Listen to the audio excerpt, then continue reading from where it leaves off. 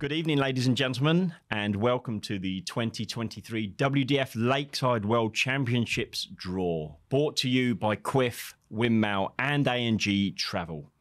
I've been joined by two legends of the game. I've got the 10 time world champion, the Golden Girl, Trina Gulliver, and the 2015 Lakeside World Champion, Scott Mitchell. Welcome, guys. How are we? Good, thank you. Yeah.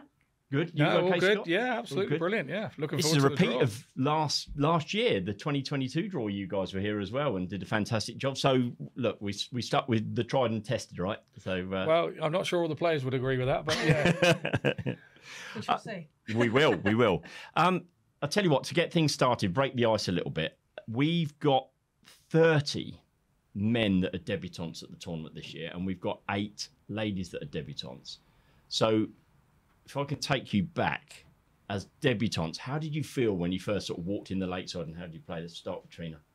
Well, it- the first time for, for us was the actual first Women's World Championship. Of so, course. so uh, you know, it's very special. And um, there's only four players in it then. So there was myself, Frances Hoenselaar, Mandy Solomons, and Crissy Howat, now Manley. Yeah. Um, so yeah, it was- that's a very special. That's where this all started off. So that's always a very special uh, moment. and something us. you've been trying to push as a in- yeah, in ladies absolutely. Ever well, so- since, you know, it's um, we tried to get our own world championship for a long time, and it finally come along with uh, a few discussions with the the then BDO. Yep. And um, Mm-hmm. so yeah, it's you know to get that in the calendar was was uh, very important, and now the the game's just gone from strength to strength. Brilliant. Yeah, 24 players this year.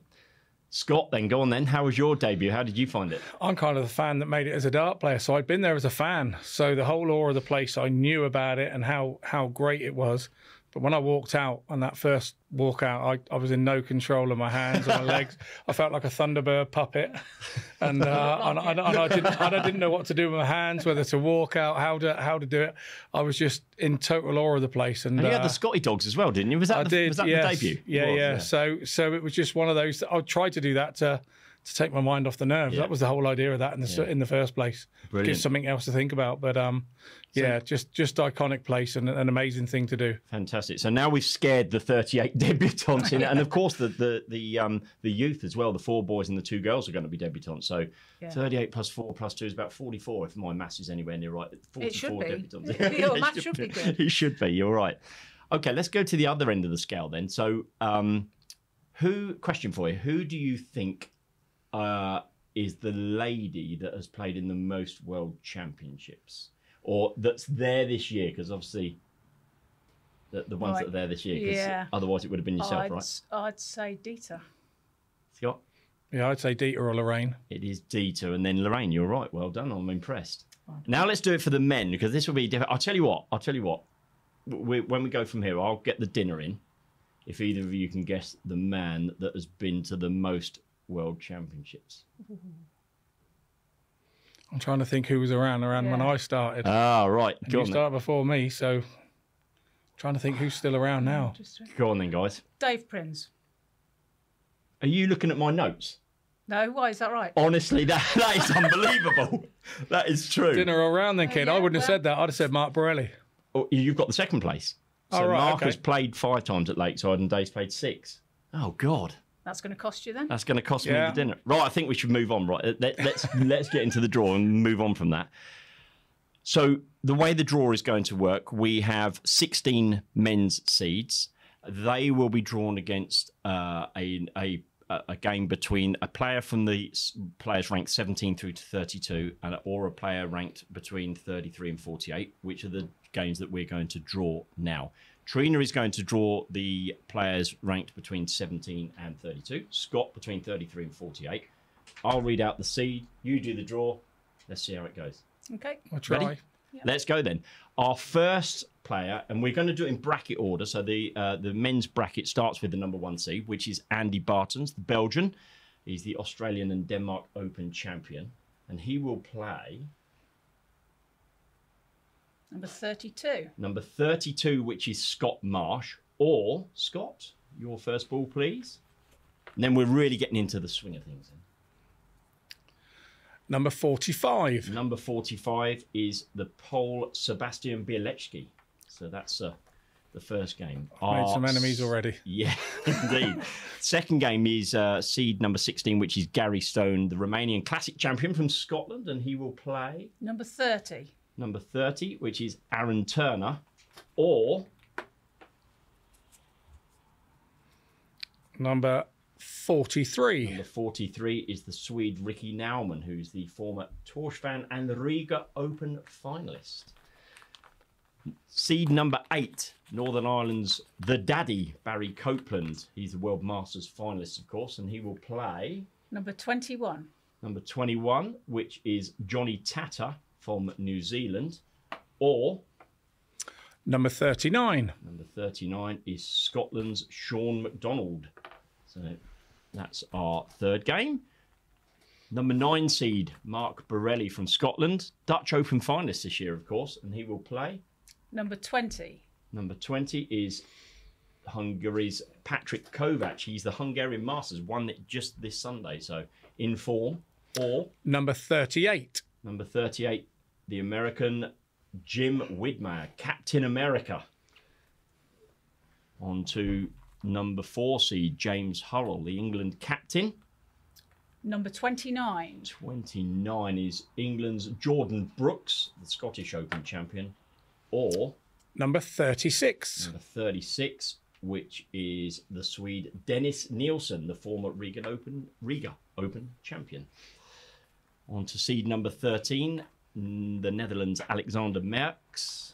Play number 18. We'll play number 18, which is Australia's Danny Porter, the Australian Masters champion, or Scott.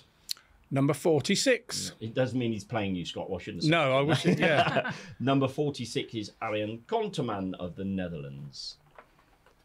On to the number five seed, the current Winmau World Master Wesley Plaisir. Play number 31. Number 31 is, oh, I don't want to say this, Davy Prins, who's cost me dinner tonight. Or Number 44. It is England's Reese Coley, British Open champion, recently played for England in the World Cup. On to number 12 seed Peter Machin, and Machy, who's won three WDF ranked titles in 2022. will Play number 26. Which is England's James Richardson, Denmark Masters champion and British Classic champion formerly. Number 48. uh, or Austria's Christian Gödel, who was the World Championship qualifier. Now we move to the current world champion, Mr. Neil Duff. And Neil will play either, Number 23. which is Moreno Blom of the Netherlands, the Budapest Classic champion, or Number 41. which is the Hungarian Gabor Takac, the former Swiss and Iceland Open champion. On to number 15 seed Martin Turner, who's the Welsh Open champion. We'll play number 17. And Martin will play number 17, which is Liam Mendel Lawrence from Germany. He's a Slovak, Swiss, and Helvetia Open champion. Or Number 35. 35 is the Welshman, Mike Gillett, who's been a semi finalist at the Slovak Open and the British Open. On to seed number seven, which is Chris Landman, the countryman. Number 25. Number 25 is the first ever Slovenian to get to uh, Lakeside, which is Benjamin Pratnamar, or Number 40. The Scotsman Davy Kerwin, the Scottish Open semi finalist. Then we move to number 10 seed Kai Fan Leung of Hong Kong. Number 27. We'll play number 27, which is the Swiss Thomas Junghans, or Number 42. number 42 is the Englishman David Pallett, the former England Open champion. On to the former champion, the 2006 Lakeside World Champion, Jelle Klassen. Number 19. We'll play number 19, the Romanian Laszlo Kadar, or Number 34. the Swede Edwin Torbjonsson. Okay, number 14 seed Darren Johnson.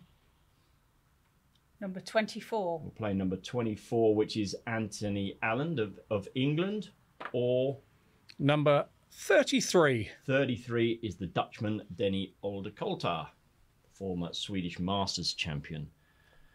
Two more seeds awaiting their opponents. The next is number six seed, the, uh, the American, I beg your pardon, Danny Lauby, who will play Number 28. number 28, which is Jamie Lewis, or Number 47. number 47, which is the Netherlands Jarno Bottenberg. So that leaves just the French touch. There's number 11 seed Thibaut Tricol, and he will play, Number 22. which is the American Leonard Gates, or I'm hoping you're going to say Number 37. 37. 37 is correct. He's the New Zealander Brian Corbett. So that completes the draw for the men's World Championships. So we now move on to the ladies' draw for the 2023 WDF Lakeside World Championships, brought to you by KWIFF, Winmau, and ANG Travel. We are going to we have eight ladies seeds, and uh, as we did with the men, Trina will draw the balls between nine and sixteen, and Scott will draw seventeen through to twenty-four. Again, if my maths is correct, I hope that's right. And uh, yeah, let's start. So we start, of course, with our number one seed, the Lakeside World Champion, Beau Greaves, and Beau will be playing against either Number 15. number fifteen is Scotland's Lorraine Hyde, Or number 22. or number 22, which is England's Laura Turner. There's a tie to start start the ladies off with. Second seed, or sorry, I beg your pardon, the second seed that we're going to draw is the number eight seed Anca Zijlstra. We'll play number 12. Play either America's Paula Murphy Or number 24. or the Spaniard, the first Spaniard lady to get to Lakeside, Almudena Fajara. She's the World Masters finalist. On to the number four seed Deta Hedman. Number 10. And Deta will be playing against the lady from the Netherlands, Aletta Wajer, or Number 19. England's Paula Jacklin. The number five seed completes the top half. He's from Wales, and it's Rhian O'Sullivan. And Rhian will play Number 14. number 14, which is England's Suzanne Smith, Or number 18. or number 18, which is uh, the lady from New Zealand, Victoria Monaghan. Into the bottom half of the draw now, and the number two seed, Aileen de Graaf, Number 13. Will play number 13, which is the New Zealander Nicole Reno, or Number 20. which is the Swede Anna Forsmark, Northern Europe regional qualifier. Then on to Lorraine Winstanley, 2019 finalist. Number 16. Will play either England's Jo Clements or Number 17. is the lady from Hungary, Veronica Ihas, who had that wonderful 164 outshot last year, the highest ladies outshot at Lakeside. On to the number three seed, the four times Lakeside World Champion Lisa Ashton, and she will play Number 9. either number nine, Australia's Kim Mitchell, or Number 21. from the Netherlands, Priscilla Steenbergen. And finally, in the ladies' draw, we have the number six seed debutante, the only debutante that's a seed, which is Wendy Harper of the New Ze- of New Zealand, and she will play Number 11. either England's Kirsty Hutchinson, finalist last year, of course, or Number 23. 23, which is Japan's Mayumi Uchi. And that completes your ladies' draw. We now move to the draw for the boys for the 2023 WDF Lakeside World Championships. Four boys in the draw. We have Hungary, Germany, Ireland, and the Netherlands all represented. So it is an open draw. All four balls are in the bag. Trina and Scott are drawing alternately. That was the word I was looking for. So, Trina, first, Number 1. number one is the Hungarian Andras Borbeli.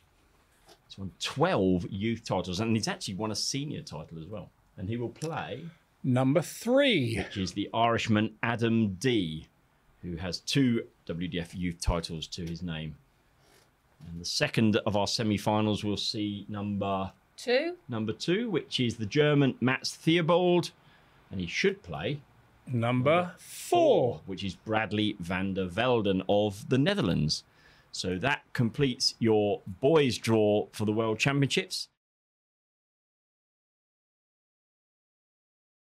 Okay, the final draw that we make today is the 2023 WDF Lakeside World Championship for the girls. There are two girls in the draw. Very simply, they will play each other in the final, but we just do the draw to decide uh, who will be throwing for the bull in the uh, practice room before the game first. So we have the two girls are Christina Churai of Hungary and Aurora Fohesato from Italy. And Trina is going to draw the first ball, which is number, Number two. two. Sorry, Trina, I was taking your role, which is Aurora Fohesato from Italy. And just That for- must mean I've got number one. which indeed is Kristina Churai from Hungary. Worth mentioning, of course, that that means that Hungary are represented in all four tournaments, the only country to be represented in all four. So well done to Hungary. That completes the draw for the 2023 WDF Lakeside World Championships.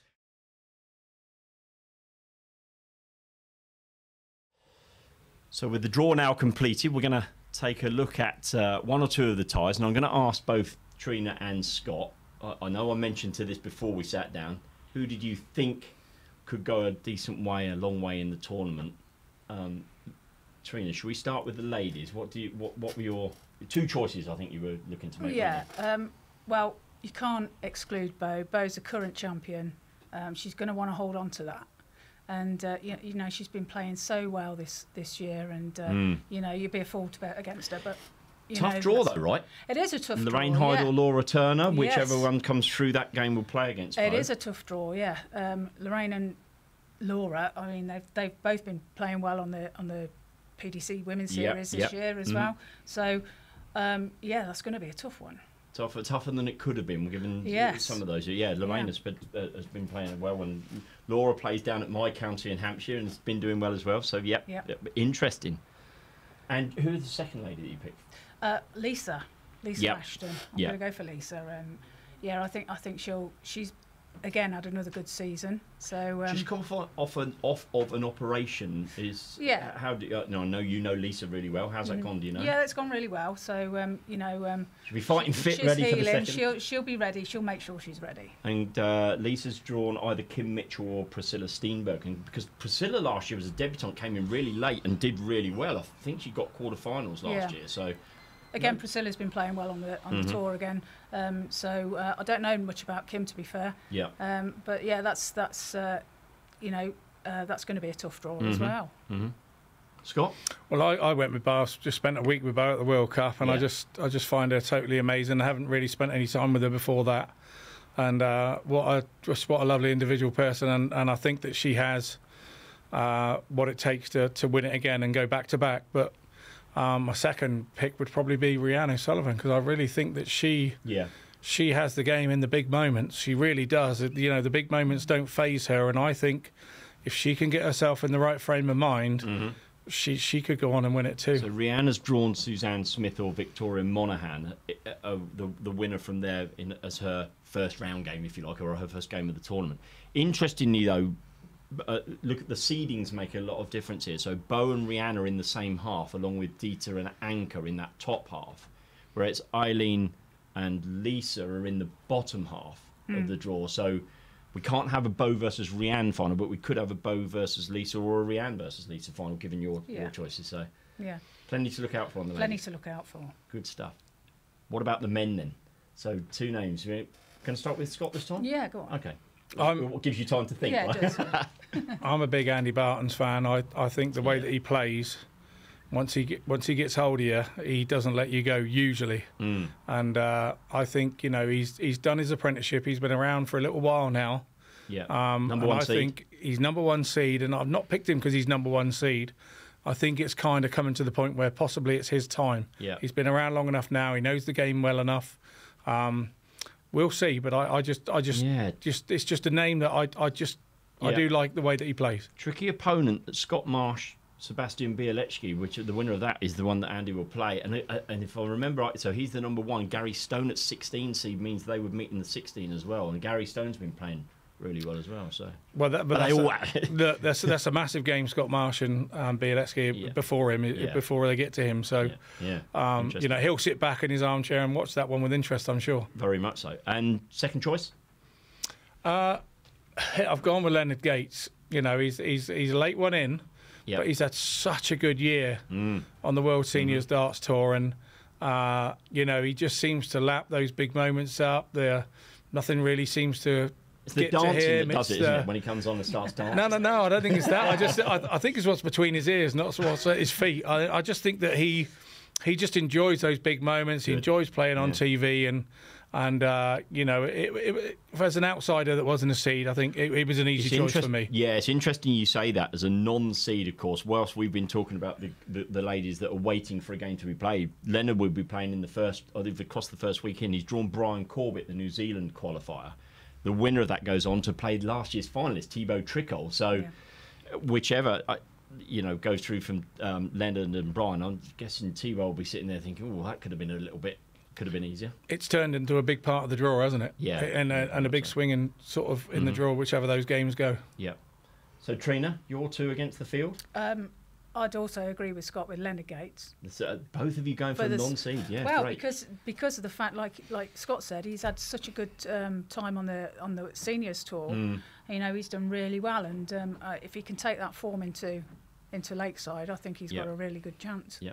Um, my second would be um, James Hurrell because James is Okay. he's playing really well at the moment. Notice so. Uh, you know, again, if he can carry that through, Yeah. um, I think he's got a good chance as well. so he plays the winner of Jordan Brooks or Dennis Nielsen. So, yeah, again, uh, look, there, there are no easy draws, right? When, No, once you get to not. Lakeside, and there are so many debutants as we talked about. But yeah, Jordan and Dennis have both been there before, so they've got a bit of experience. So uh, yeah, an interesting one. Yes, very. We shouldn't, of course, leave out the champion. Neither of you picked Neil Duff, which I don't know whether I'm surprised or not surprised. Neil just won a, a, a tournament of the weekend, playing well. Your champions that are, have, have been back to defend. What's it like for, for Neil and for Beau to go back as to defend?